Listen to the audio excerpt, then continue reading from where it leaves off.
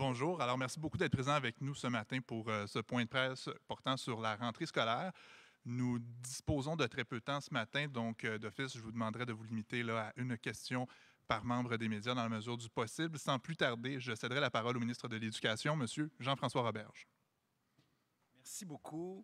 Euh, tellement content d'être présent dans une école, de revenir enfin dans une école encore une fois et de voir les gens du terrain. Je veux remercier euh, la directrice du Centre de services scolaires des affluents de nous accueillir ici, Madame Gélina. Je veux saluer aussi la présidente, Madame Côté, directrice de l'école des Moissons. Merci de nous accueillir chez vous. Évidemment, saluer ma collègue Lise Lavallée. On est dans, dans, ton comté, Lise. Merci de nous accueillir. Très content de te revoir enfin, en vrai.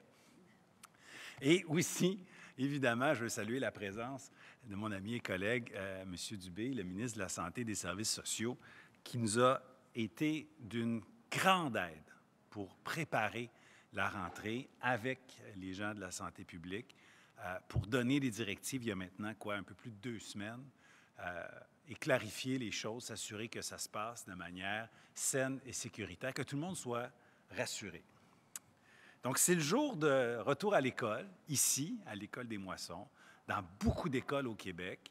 Euh, dans d'autres écoles, ils en sont déjà même à leur deuxième journée, leur troisième journée, mais de manière générale, ça recommence aujourd'hui. Euh, je veux souhaiter une bonne rentrée à tous, évidemment, mais je pense qu'il faut prendre le temps pour remercier spécifiquement les catégories de personnel, les gens qui font l'école. Donc, évidemment, les enseignants, le personnel de soutien, euh, le personnel des dîneurs, la garde scolaire, les professionnels qui sont dans nos écoles, les directions et directions adjointes, parce qu'ici, on a une direction adjointe aussi, les directions générales des centres de services scolaires et les cadres, les équipes euh, qu'on ne voit pas sur le terrain, qui travaillent dans les sièges sociaux, mais qui coordonnent, qui assistent, qui vulgarisent euh, et qui donnent un sérieux coup de main à tous ceux qui travaillent dans les écoles. Tout ce monde-là rend possible la rentrée scolaire réussie qu'on vit en ce moment.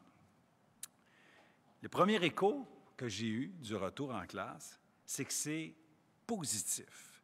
Et ça, c'est grâce, euh, ça n'arrive pas par magie, c'est grâce au professionnalisme euh, de tous ceux que je viens de saluer en ce moment. Ces gens-là ont travaillé depuis qu'on a euh, énoncé dès la mi-juin notre plan de retour en classe, notre plan de la rentrée. Donc, dès la mi-juin, tout le monde dans le réseau s'est mis au travail pour préparer la journée qu'on vit aujourd'hui et l'année scolaire. J'ai visité plusieurs écoles dans la dernière semaine, évidemment ici, mais aussi à Québec, à Longueuil, à Montréal. Puis je vais continuer d'être sur le terrain dans les prochains jours et les prochaines semaines pour bien comprendre ce qui se passe, puis faire des ajustements, euh, si c'est nécessaire, de faire des ajustements. Ce qu'on me dit, euh, c'est que ce n'est pas parfait encore partout, bien sûr, parce que c'est nouveau, parce qu'on s'adapte, mais que ça va bien, que les gens sont heureux, sont souriants. Parce que oui, la rentrée se fait en temps de pandémie en ce moment, on vit quelque chose de spécial, mais on est dans un contexte quand même où on a un gouvernement qui fait de l'éducation de priorité. On a un gouvernement qui investit dans nos écoles, qui investit dans nos infrastructures. C'est important de le mentionner. Juste cette année, on a investi pour 3,7 milliards de dollars seulement cette année dans notre plan québécois des infrastructures euh, scolaires pour construire des écoles, agrandir des écoles, reconstruire des écoles. D'ailleurs, on a une école ici au centre de services scolaires euh, qui va devoir être euh, démolie puis reconstruite flambant neuve. Et, un point, une partie de cet argent-là aussi, c'est pour rénover nos écoles, évidemment, prendre soin des écoles qui sont déjà là. Ça, c'est pour le béton, comme on dit. Mais on investit dans l'humain, bien sûr. Il faut se dire ça. Donc, cette année, pour la rentrée de septembre 2020, il y a pour plus de 100 millions de dollars de plus qu'en septembre 2019. 100 millions de dollars qui vont venir aider nos profs, aider nos professionnels, aider tout le monde à aider les élèves. Avec de l'argent qui, dans certains cas, est décentralisé vraiment dans les écoles, avec des ajouts de classes spéciales pour des élèves qui ont des besoins particuliers, avec des ajouts de professionnels, plus de 350 à temps plein de plus cette année qu'en septembre dernier dans, notre réseau, avec des partenariats avec des organismes communautaires. C'est ça qu'on va faire avec le 100 millions d'argent neuf qui arrive dans nos écoles. Il y a aussi un allègement administratif qui a été salué par tous les partenaires. Hein? Moins de bureaucratie, plus de services aux élèves. Et ça, c'est nouveau de cette année. Et c'est parce qu'on a écouté ce que nous disaient justement les orthophonistes, orthopédagogues, psychoéducateurs, qui nous disaient qu'il y avait trop de paperasse, trop de bureaucratie. On les a écoutés, on a enlevé cette bureaucratie. Et la conséquence, c'est que les élèves vont avoir plus de services cette année. Des centaines de milliers d'heures de plus en service direct aux élèves cette année. Ça arrive au bon moment, alors que beaucoup d'élèves vont avoir besoin de consolider leur apprentissage et d'avoir des services individualisés avec des professionnels. Je tiens à dire que malgré toutes ces mesures-là, il va y avoir quand même des difficultés scolaires. Il va y avoir des enfants qui vont avoir besoin d'aide. Mais moi, je dis aux parents, on est là pour vous autres, au gouvernement, mais évidemment dans les écoles. Alors, s'il y a des problèmes particuliers après quelques jours, quelques semaines, si votre enfant a besoin d'un soutien supplémentaire, communiquez avec l'école. Faites-le savoir.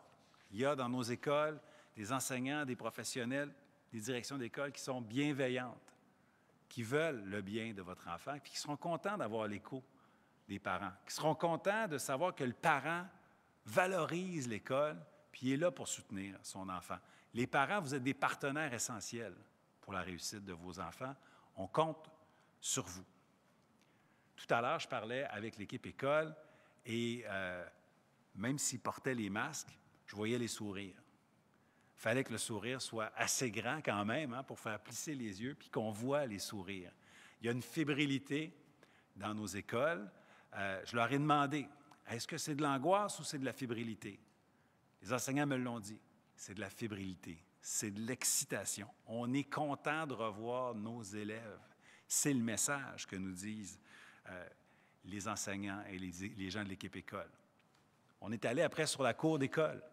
On est allé voir les élèves. C'était beau de voir ça.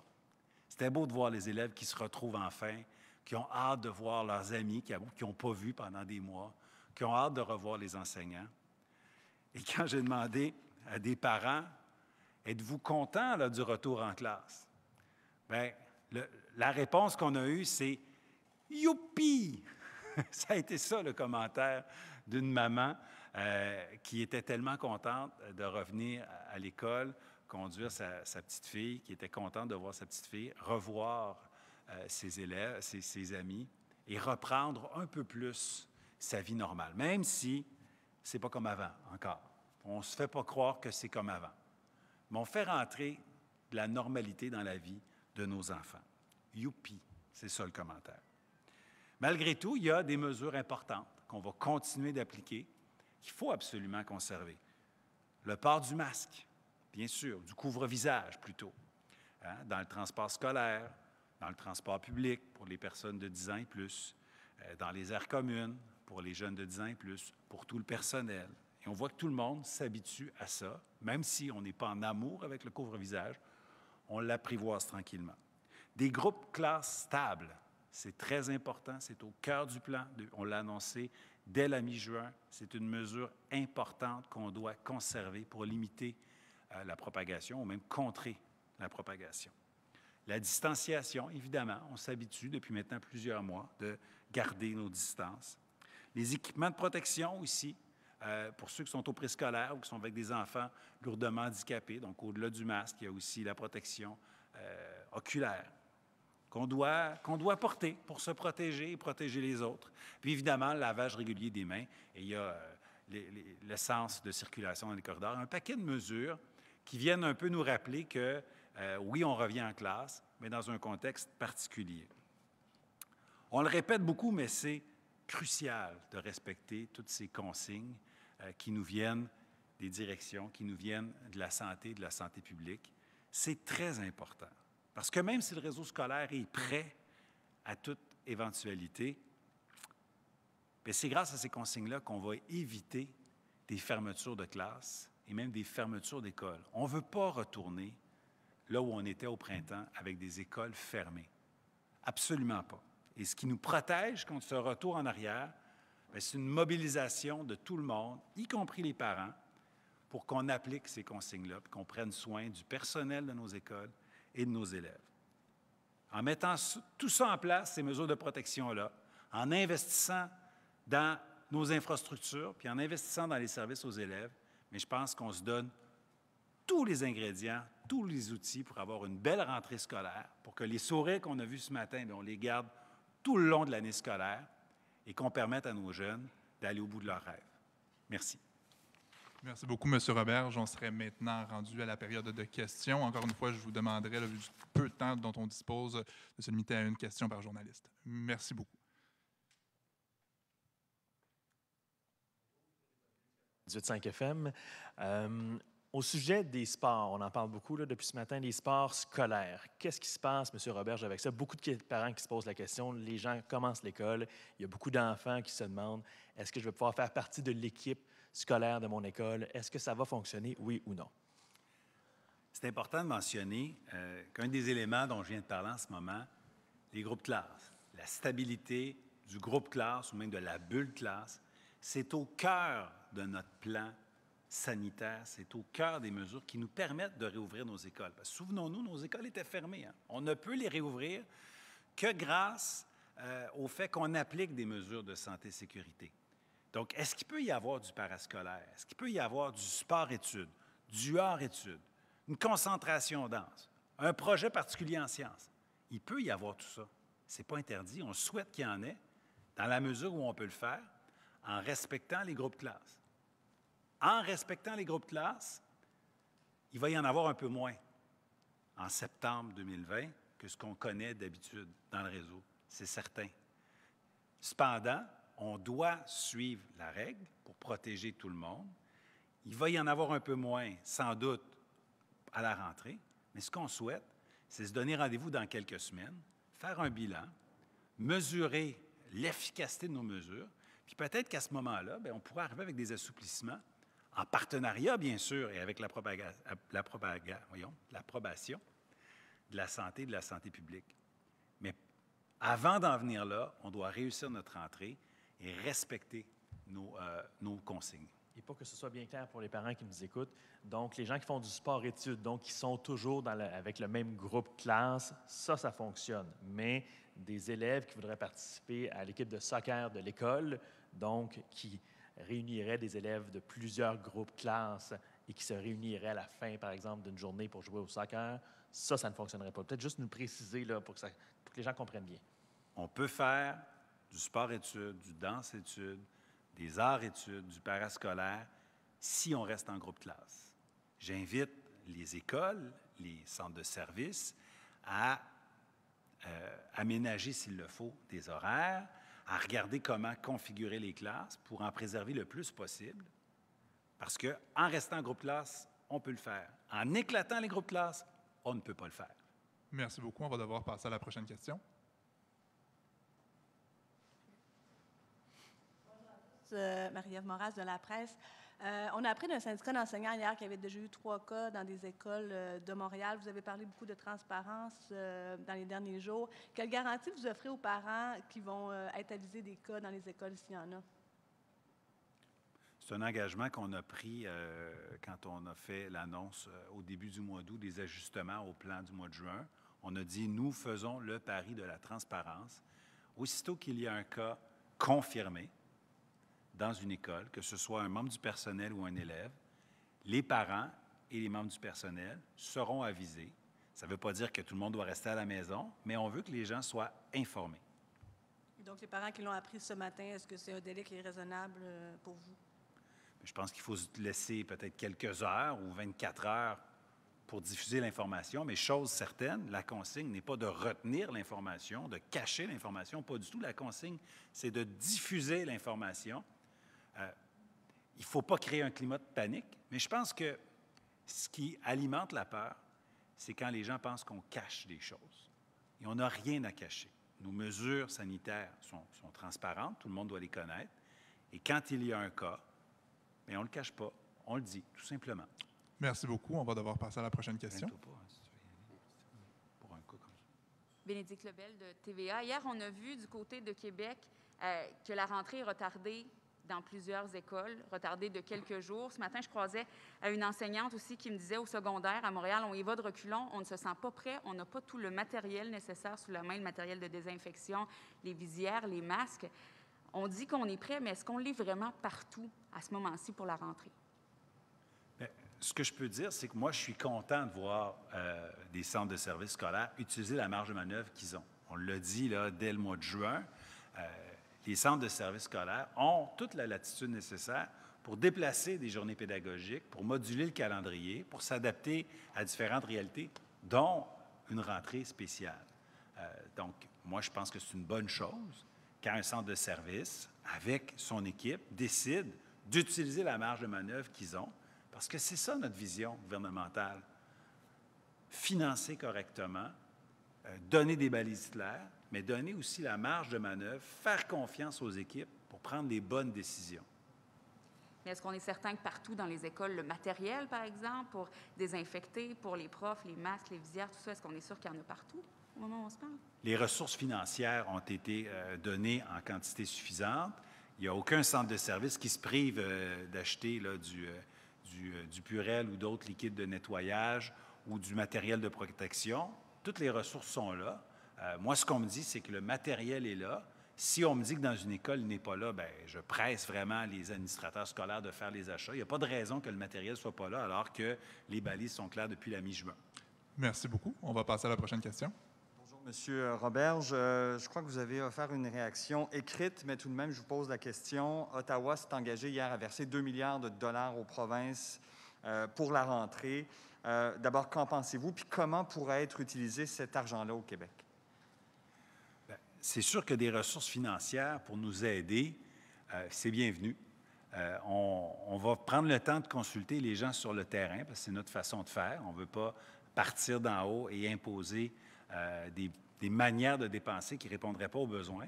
Mais déjà, avec l'écho qu'on a du terrain, c'est certain qu'on va utiliser une partie des ressources pour améliorer le transport scolaire, pour mettre plus de véhicules, ne serait-ce que des mini-fourgonnettes, des berlines, tout véhicule, évidemment, qui répond aux normes euh, sécuritaires. On va améliorer le transport scolaire pour améliorer la vie des familles.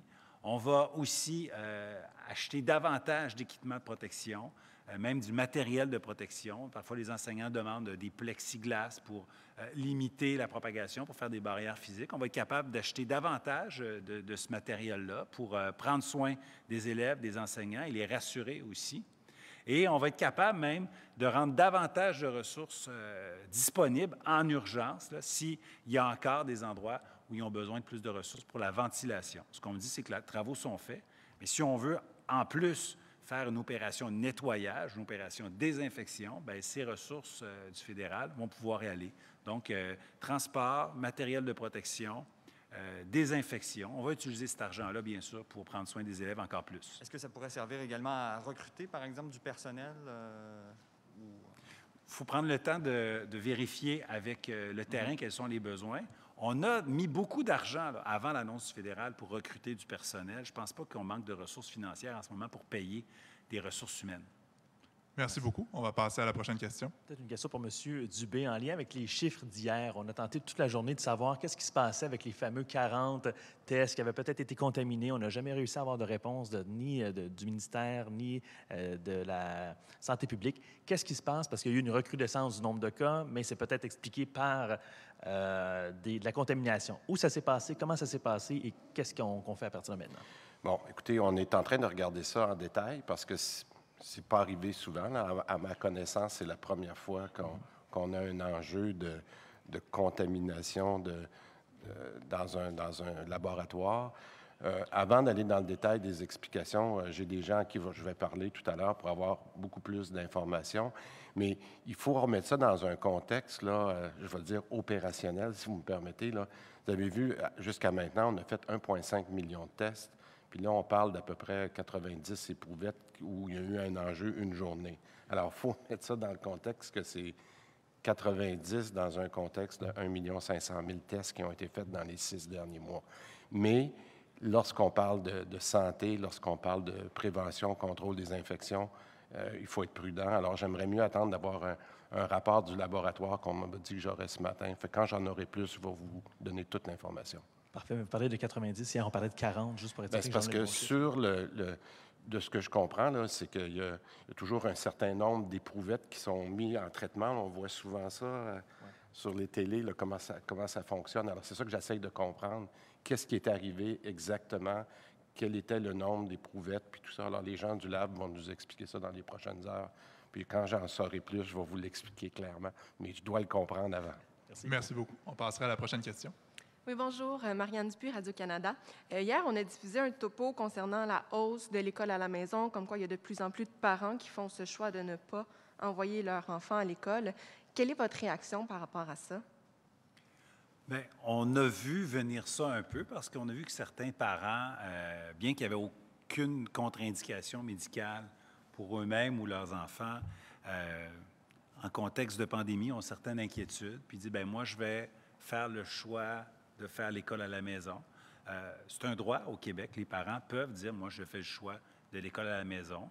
Ça vient avec certaines obligations qui sont très importantes. On a une division au ministère dédiée à l'encadrement de l'école à la maison. On doit euh, s'inscrire, on doit déposer un projet pédagogique, on doit respecter le programme de formation de l'École québécoise, on doit préparer les jeunes à passer des examens ministériels. Mais ceci dit, c'est un droit. Euh, je veux clarifier cependant, euh, quand on dit engouement, on parle de quelques centaines euh, de personnes euh, de plus. C'est encore bien en bas de 1% des enfants qui vont faire l'école à la maison cette année. Là. Bien en bas de 1% Donc, je pense qu'il faut relativiser ces chiffres. Donc, ça ne vous inquiète pas particulièrement? Bien, je pense que c'est un droit. C'est un droit qui est bien balisé, bien mieux balisé qu'avant, parce que c'est une des premières choses qu'on a faites depuis qu'on est arrivé au gouvernement, garantir le droit à l'éducation pour tous les enfants, y compris les enfants dont les parents font le choix de l'école à la maison. Donc, on a donné ces balises-là, ces garanties-là qui sont importantes. Après, on ne veut pas limiter euh, ce choix-là. Je veux simplement appeler à une certaine réserve parce qu'il faut quand même voir qu'on est en bas de 1 Donc, ce n'est pas un mouvement de masse. Merci beaucoup. On passerait maintenant à la prochaine question. Uh, Geneviève Beauchemin from CTV News. Monsieur Roberge, can I just understand your position about sports teams? So, for instance, when we're looking at high school uh, students uh, who may not be able to be in the same group because they're in different streams in math, for instance, secondaire 4, secondaire 5, they could not then play, if they're not in the same class, would not be able to play on the same sports team. Is that clear? Could you just explain your position on that?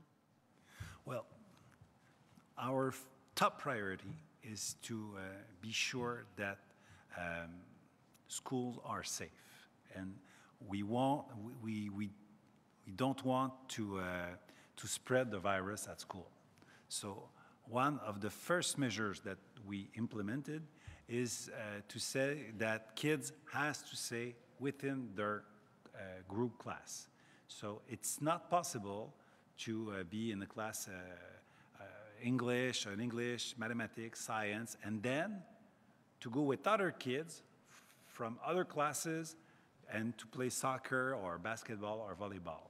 And we were pretty clear since uh, the middle of June with, uh, with this measure. So we have to keep uh, our measure. We have to, to, uh, to be uh, consequent and to uh, reassure that when we will go through the pandemic, maybe in a few weeks, few months, we will review our rules, and maybe uh, we, uh, we will be able to, uh, change our rules. But right here, right now, we have to uh, take care of the kids and uh, all the support staff and all the teachers, and to stay uh, with our measures and to uh, not to, uh, to allow kids from all classes to go and play soccer with, uh, in school or volleyball or do uh, other sports.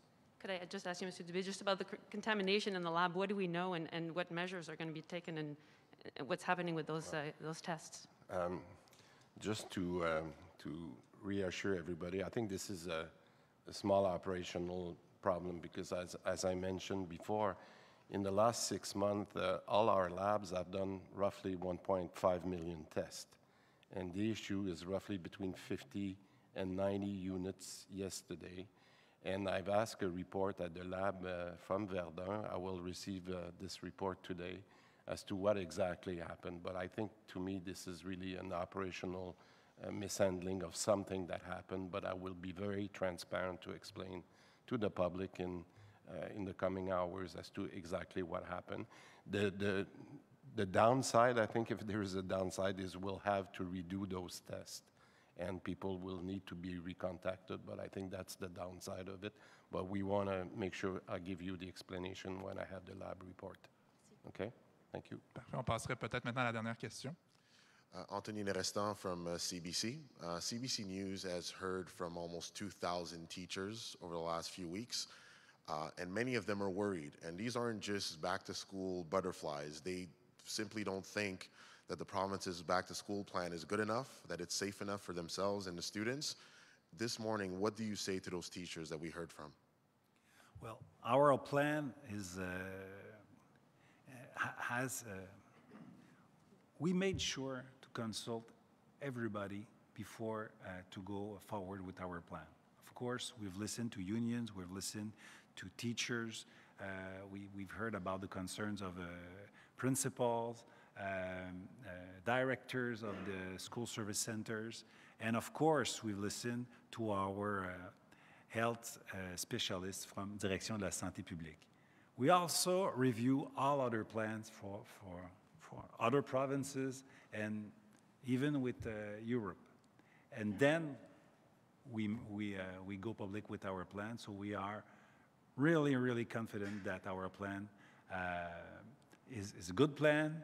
Uh, we take care of the kids, we take care of the, the parents, we take care of the, the staff and the teachers. And uh, I think if you were in the, in the courtyard this morning, you saw all the smile and happiness. Teachers were happy, parents were happy, and kids were happy. But what do you make of people saying it's not too late to delay this? All the teachers saying we don't feel like we're ready right now. Why doesn't the province take a step back and just say let's let's push this back a week or two weeks to make sure everyone is ready? Well, if I may uh, just compliment on this point, is I think we've seen in the last six months that uh, sometimes we need to adjust. And I think that uh, the, line, the line has been traced very clearly with a very solid plan. But uh, in few weeks, if we think that some of those measures need to be adjusted, uh, as you know, we have not been scared of adjusting ourselves. So I think we, there is a clear line that right now we have enough reassurance that we've done all the right things. But I will be very clear with health, with uh, public health. If we need to adjust certain measures over the coming weeks, we're learning, but we'll do everything to make sure that we play, our kids are in a safe environment, and we'll do that. Merci beaucoup. On va devoir passer à la dernière question là, rapidement parce qu'on doit, on va devoir passer à Yeah, Mr. Roberge, uh, just picking up on my colleague's uh, question, uh, what do you say specifically, what can you say specifically to teachers who are saying, many of them, actually hundreds are staying home because of their, their, they can't, they feel they can't come in because of the measures being taken. And a lot of them are very worried because they're in uh, windowless classrooms with not a lot of ventilation and no masks. So what can you say to reassure teachers who are concerned? I think uh, it's really important uh, to, to, to repeat it. Our plan is a solid plan. We've listened to all the specialists. We've heard the Directeur de la Santé Publique uh, here in Quebec who approved our plan. And we, we had a lot of discussions with uh, all, the, all the, the, the directors of the school service centers. And we are really confident that uh, schools are safe places for kids and teachers and support staff. Merci beaucoup. C'est ce qui conclut notre activité de presse. Merci beaucoup d'avoir été avec nous ce matin. Bonne rentrée à tous.